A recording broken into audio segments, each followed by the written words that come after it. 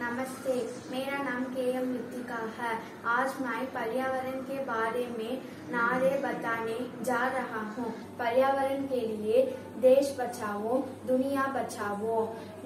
Plant the trees for our environment, save country, save the अपने अपने पर्यावरण को मिलकर पेड़ लगाओ, आओ, पेड़ पौधे लगे।